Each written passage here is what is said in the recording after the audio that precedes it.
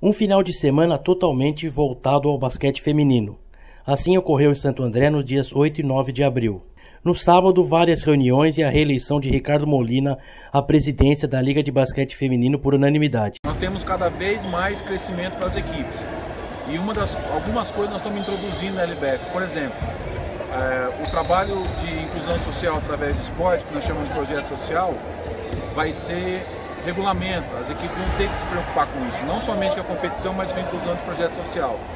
Nós estamos querendo implantar, é, nós vamos implantar um percentual que sempre que tiver de da liga serão direcionados para os clubes. Bom, é muito proveitoso está sendo o fim de semana, é, o planejamento, a eleição que foi hoje pela manhã, a apresentação do planejamento, é, até frisei com o presidente a, a minha satisfação de que foi apresentado o planejamento do ano passado e colocado o que foi feito. E, para nossa surpresa, 90 e poucos por cento do que a gente apresentou no planejamento fim do ano a gente cumpriu, né? E, então, e agora estamos apresentando o planejamento 2019-2020. E estamos muito felizes e empolgados para esses próximos dois anos de liga.